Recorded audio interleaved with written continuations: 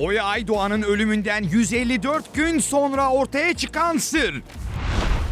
Bülent Ersoy ve Oya Aydoğan'ın oğlu Gurur Aydoğan'ın arasına neden kara kedi girdi? Benim elime doğdu bir kere. Ben Bülent teyzeye saygım, sevgim sonsuzdur. Oya'nın tabii hatırı çok büyük. Sizin aracılığınızla yani bu konu burada bitmiş olsun. Ve üzüldüm.